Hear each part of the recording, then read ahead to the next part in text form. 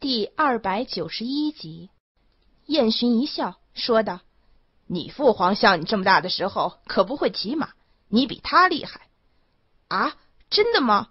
永儿一愣，傻傻的睁大眼睛问道：“父皇这么笨呐？”燕洵闻言，很开心的笑道：“你父皇做别的都行，精通诗词，博览群书，偏是不会骑马。他的马术还是跟朕学的。”哇！那皇上不是我父皇的老师了吗？皇上能教我吗？我想骑大马，不想骑小马驹了。江叔送我的那只小马驹太懒了，连跑都不会，只会小步的走。你还太小，教你骑马还不行。不过朕倒是可以教你点别的。皇上还会什么呀？会斗蟋蟀吗？燕洵很平静的笑。朕会的可多了。皇上吹牛吧？我养的红头大将军打遍皇宫无敌手。连二皇子的威武绿头王都被咬下一条大腿。窄窄的石阶道上，一高一矮两个人走在最前面，边走边聊，其乐融融。风雪就在左右，可是却似乎不能介入到他们之间。玉树跟在后面，出神的看着他们的背影，迷迷糊糊的想：若是王爷人在，也许就是眼前的这个样子吧。也许也会闲暇时带着永儿出去踏青。会聊一些别的朋友小时候的糗事，然后很臭屁的吹嘘一下自己年少时有多么聪明神，许就是这个样子吧。他突然感到有些伤心。她虽然是个单纯的妇人，只知道照料丈夫、抚养孩子，可是也并非对于外面的事情全然不懂。这些年，尤其是最近这两年，皇宫里的皇子一个又一个的出生，可是从来没听说皇上对哪个儿子多么宠爱。潜意识里，玉树也是明白的。燕国出力，各方政权目前还不稳定。北方目前还有小规模的战争，而且大燕在皇后嫁入燕国之前就有承诺，大燕的皇帝必是皇后所出之子。所以，即便是皇后目前还没有孩子，皇上也不能和其他的儿子过分亲近，以免引起朝野疑心。毕竟，如今朝廷上怀宋旧臣还是有一定势力的。皇上以这样温和的表情说话，恐怕就连他的亲生儿子也没人见过吧？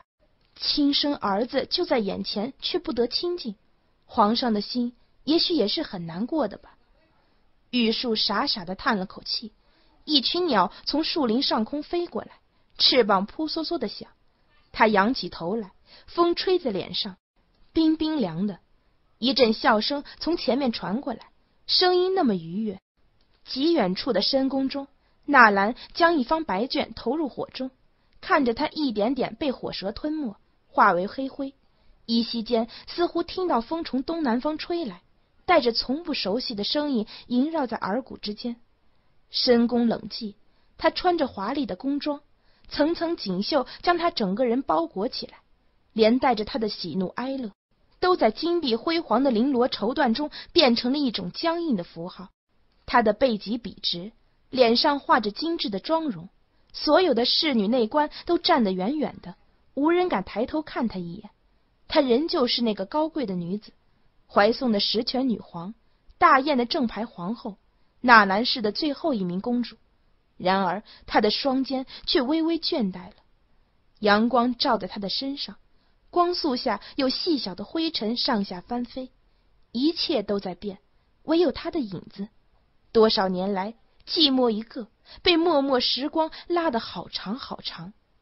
又一年了，无声中，他微微一笑，笑容却如同雾霭，轻轻消散在这窗外的冷雪中。窗外风声簌簌，空旷的大殿帘帷深重。请脉的太医刚刚退下，云姑姑就上了殿，穿着正一品女官朝服，端端正正的给纳兰行了礼，并且不起身。纳兰见了，无奈的苦笑，问道：“姑姑，这是怎么了？”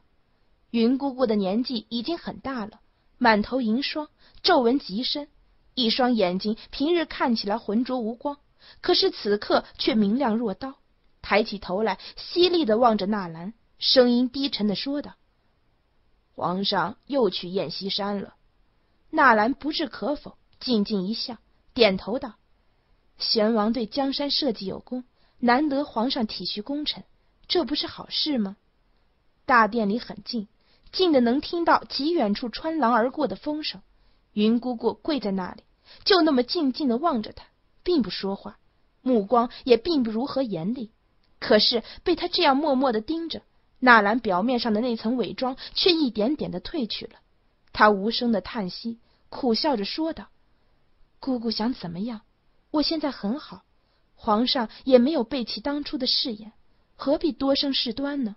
可是皇上恨你，云姑姑突然激动的说道：“他恨你夺了玄王的兵权，恨你抽掉了他的亲军，恨你将他调往东海。”恨你扣下了玄王最后写给他的书信，他以为玄王才是与他相守相助的金兰兄弟。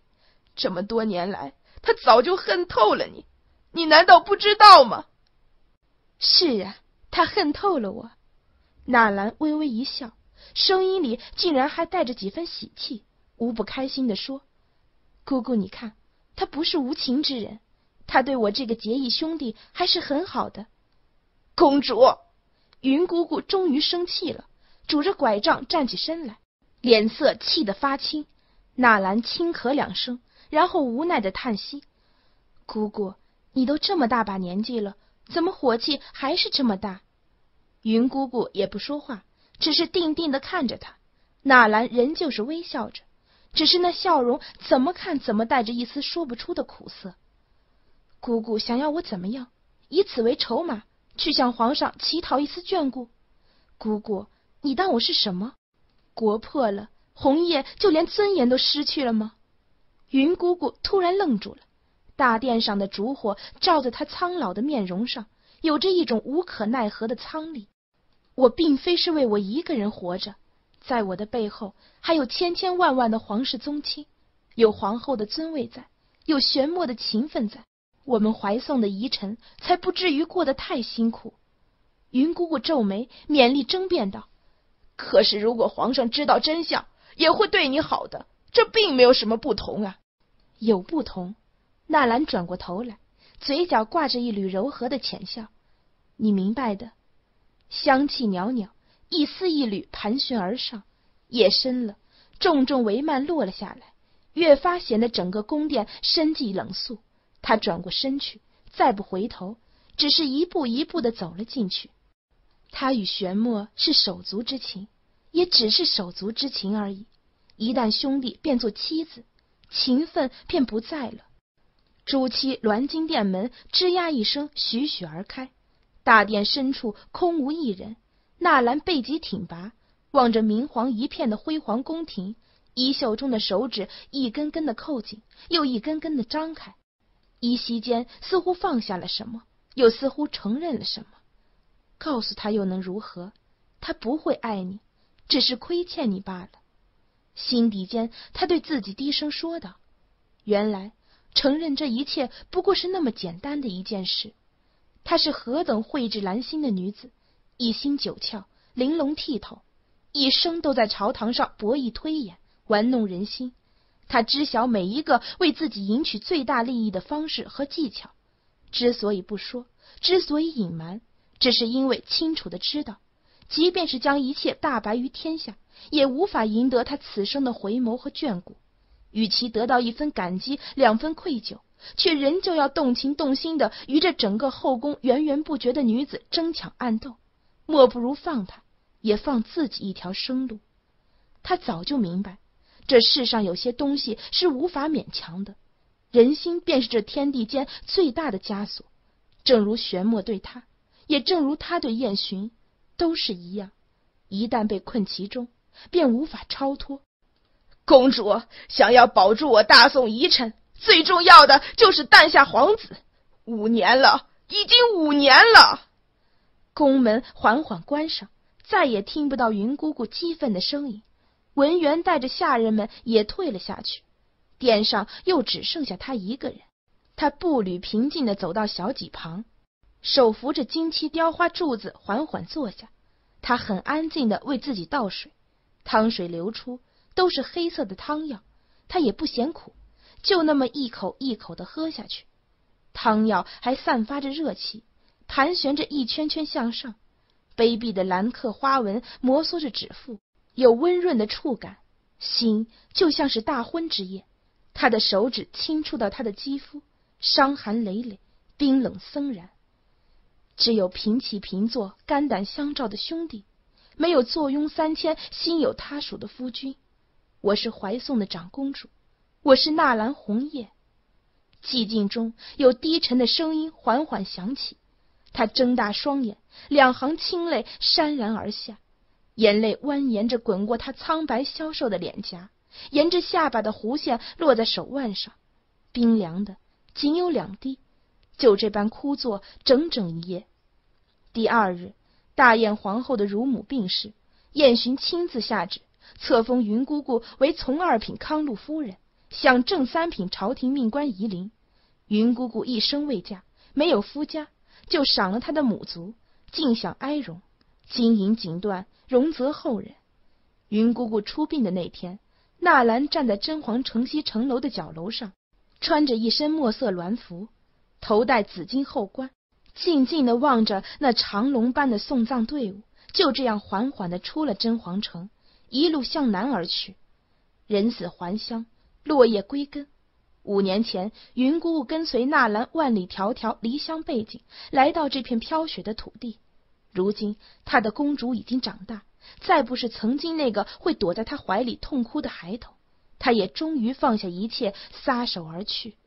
那天傍晚，天空又下起了雪，侍女为他披上厚厚的长裘，可是他却仍旧觉得冷。他的面色清白，神形消瘦，独自一人站在高楼上，像是一尊冰封的石像。父皇走了，红玉走了，玄墨走了。云姑姑也走了，终于，这天地间所有爱他的人都走了，只剩下他一个人，在家乡的万里之外。也许终他一生也再看不到故乡的艳阳纯暖，嗅不到海滨的微咸波清。泪意上涌，可是眼睛却是干的。他的心口突然那样痛，喉间心弦，似乎有液体溢出嘴角，他却一直那么无知无觉的迎风站着。直到白色的大球前襟变得殷红一片，直到文员的惊呼声穿透耳骨，直到极远处的天空飞过黑色的乌鸦，他才软软的倒下。大雪苍茫，天地昏黄倒转，他似乎又看到了很多年前云姑姑年轻的脸，温柔的望着他，轻唤着他的乳名。云姑姑死后，纳兰就如同一朵枯萎的百合，一天天的衰败下去。天气越来越冷，寒风肆虐的卷过大地。太医院的大夫们每日往返十几次，各种名贵的药材流水般的送进东南殿，可是都不见有什么起色。这天中午，大雪终于停了，外面的阳光很好。文员叫了一些小丫鬟在院子里打雪仗，抬了纳兰到廊下坐着。他穿着厚厚的白貂披风，坐在软榻上。那些欢快的声音传遍了东南殿，连带着让人的心境也稍稍开阔了起来。突然，一个轻微的声音传到耳朵里，纳兰微微侧目，只见偏殿里的王太医和陆太医正在低头商量着什么，似乎没看到他。声音稍微有些大。王太医是怀宋的老臣，今年已经七十多岁了。只见他眉头紧锁，因为隔得远，说话也不完全听得清。只听得几个模糊的词，什么耗尽心血，心思太重，气血盈亏，内外两虚，已然油尽灯枯，药石无力回天。两位大人说什么呢？一声轻斥突然响起，两位太医抬头一看，却是文员站在门口，满脸焦急的怒视着他们，而纳兰则坐在一旁，面色安然，看那样子似乎已经听了很久了。两人吓得扑通一声就跪在地上，忙不迭的赔罪。纳兰却没说什么，只是默默的转过头去，静静的看着院子里的丫鬟们打雪仗，无喜无悲，好似刚才的话通通不曾过耳。吃晚饭的时候，文员笑着陪他说话，见他心情还不错，就小心的安慰他说不必在意那两个太医的话，连带着还将两人数落了一通，说他们年老昏聩，不值一信。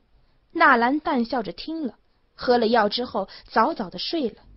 第二日，东南殿就来了一批新的太医，纳兰也没有反对。他每日听从太医们的话，静心调养，病虽然没什么起色，但是却也没有恶化。大夫们都很开心，说只要过了这个冬天，他的病就会有转机了。第二百九十二集，东南殿的下人听了十分高兴，正好赶上就快过宫灯节了。文员带着女官、内侍们将东南殿布置一新，红红绿绿、各色鲜艳的绸缎都挂了起来，看起来像是民间新婚一样。纳兰知道他们的心思，也没阻止，只是静静的躺在床上，极少说话。然而没过几天，天气却突然变得极冷。寒风呼啸，滴水成冰，纳兰的病顿时就恶化了。这天中午，窗外大雪呼啸，纳兰靠在榻上，听着外面的声音，微微有些出神，静静说道：“今年的宫灯节，怕是不能办了吧？”他的声音十分沙哑，带着掩饰不住的颓败之气。文员终日满面忧色，却又不敢让他看出来。见他说话，连忙笑着答道。哦，这么大的风，什么灯笼往出一挂，立马就被吹走了，应该是不能办了。纳兰点了点头，文员继续说道：“娘娘还是先睡一会儿吧，刚吃了药，嘴里苦吗？要不要喝点糖水？”纳兰摇头。文员正要继续说话，忽听外面三声鞭响，清脆悦耳，顿时面色一喜，立马站起身来，连声说道：“娘娘，是皇上来了。”说着，就带着下人出去接驾。不一会儿，大殿的宫门一层层打开，重重幔帘被掀起。燕洵穿着一身乌金色长袍走进来，一边走一边脱下外面的黑裘大衣，交给一旁的侍女。他还是老样子，英气的眉，笔挺的鼻，薄薄的唇，眼眸像是幽深的湖，怎么样也看不到底。他坐在纳兰床榻的对面，接过文员递上来的热毛巾，先敷了脸。又擦了擦手，才问道：“病好点了吗？”纳兰靠在榻上，轻轻的点头，脸上带着他一贯淡定平和的微笑。皇上挂心了，已经好多了。他点头，继续问：“太医开的药有按时吃吗？”纳兰道：“有按时吃。”他沉吟片刻，又问道：“朕记得你很怕冷，如今天寒，宫里够暖和吗？”纳兰的眼底闪过一丝淡淡的神采，只是就那么一闪即逝，几乎不容察觉。他抬起头来，脸颊已经消瘦成尖尖的，说道：“皇上不必担心，我这里一切都好。”然后大殿里就这样安静了下来，宁静的如秋天的湖水。窗外的风依旧一呼一呼的紧，两个人就这样坐着，谁也不知道该说什么来打破这样尴尬的僵局。那皇后就好好歇着。朕知道，皇上用过午膳了吗？一个极清脆的声音突然在一旁响起。纳兰和燕洵都是一愣，抬头看去，却是文媛。年轻的侍女害怕的嘴唇发白，双手在身前死死的攥着一方手绢，额头已经沁出了汗珠，隐藏在衣袖下的手臂微微发抖。燕巡诧异的看了纳兰一眼，随即转过头去，却并没有生气。反而点了点头，说道：“没有。那皇上不如就在我们宫里用膳吧。我们的小厨房手艺非常好，娘娘都喜欢吃。皇上还从来没在我们宫里吃过饭呢。”燕洵一笑，点头道：“好。”文员不由得喜形于色，几乎有些手足无措了，连忙道：“那奴婢先下去准备。”说罢，一溜烟的就跑了下去。见他走了，纳兰无奈的说道。臣妾管教下人无方，请皇上恕罪。燕洵却摇头，没事儿，他很忠心。纳兰怎不知文员的心思？不过是希望燕洵能够多留一会儿陪陪自己罢了。当下也不再说什么。燕洵却站起身来，在大殿上随意的走动，走到书架旁，随手抽出一本，翻了翻，又放了回去。随后又抽出一本。纳兰则歪在榻上，细细的摆弄着一只扣夹。阳光从窗子处射进来，在地上画出一个又一个的格子。午后的阳光很暖，纵然此刻外面狂风呼啸，可是这一方居室里却是平和安详。你很喜欢商贾之书？燕洵突然开口问道，手里拿着一本经纬甲术。纳兰抬起头来看了一眼，说道：“臣妾的祖辈以前就是商家起家，宋帝商贸发达，臣妾闲暇的时候也喜欢研究研究。”燕洵一笑道：“真是看不出啊，看不出什么？”燕洵摇头道：“没什么，这是朕知道一个人也喜欢此道。”纳兰笑道：“是玄王爷吧？”燕洵微微诧异，问道：“皇后怎么知道？”纳兰很自然的说道：“臣妾当然知道，臣妾自小就认识玄王爷，对他自然比皇上了解了。”燕洵轻轻一笑，似乎不以为然。可是也没说什么，只是转过头去继续翻看书卷。纳兰却暗暗有一丝小得意，像是小孩子恶作剧得逞一般，嘴角牵起，低下头去继续摆弄着那只扣夹。时间静静流逝，成亲多年，燕洵似乎还是第一次认真观看纳兰的寝殿，只觉得自己这个皇后倒是个不寻常的人，不但品味出众，见识更是广博，所藏之书涉猎极多。而且大多都有翻看的印记，不似其他宫妃所有的书卷。这皇上、皇后娘娘，请用膳。饭菜很快就端了上来，因为纳兰在吃药，需要忌口，所以纳兰的一面只有四道小菜，而燕洵的那面却足足有六十多道冷热荤素，洋洋洒洒摆了一大桌子，看起来蔚为壮观。燕洵微微有些窘迫，不由得看了纳兰一眼，纳兰却笑道。皇上平时很少来臣妾这儿，下人们不知道您的口味，只得多做准备。皇上就不要怪他们了，他们也是诚心在讨好您。这话说的也就出自纳兰之口，若是别人，定会让人觉得是在拈酸吃醋。文员站在一旁，见燕洵什么也没说，听话的吃了起来，不由得心花怒放，心道自己今天真是太英明了。娘娘平日哪里会有这么好的精神？果然心病还需要心药医，没准皇上多来几次，娘娘的病就好了。一顿饭吃得很慢，吃完之后已经该睡午觉了。燕洵和纳兰随意的说了几句话，此时就自然了许多，又交代下人好好照顾他，就要先行回宫。然后刚刚转身要走，突然只听“嘶”的一声，原来袖子挂到了桌角，竟然将袖口的布料撕了一个大大的口子。燕洵抬起手臂。随意的看了一眼，也没放在心上，就要穿上大衣。纳兰却说道：“皇上，衣服破了。”燕洵满不在乎，随意道：“没关系。”等一下，纳兰拉过燕洵衣袖，仔细的看了一眼，说道：“这是天赐绣的贡品，这种布料，天赐郡一年所出也只能做几件衣服。皇上今年也只做了这一件天赐绣的朝服。”如今坏了，就算拿到御绣房，恐怕也没人敢补。燕洵哪里想得到一件衣服还有这么多的说法，当下也不由得多看了这件衣服两眼，说道：“坏了就坏了，也没关系。”纳兰却道：“皇上不心疼，臣妾还心疼呢。也不知道每年为了这一卷布料，有多少秀女要绣盲了眼睛。你看，这布料不仅仅是双面绣。”就连布料的缎面，仔细看也是可以看到一个小小的福字的。燕洵一看，果然如此，不由得感叹道：“果然精妙。”文员拿针线来。燕洵顿时一愣，问道：“皇后要做什么？”既然玉绣坊没人敢补，反正也是要扔了，不如臣妾来补。若是补坏了，皇上可不要怪罪。燕洵很是惊奇，不由得问道：“皇后还会女红？”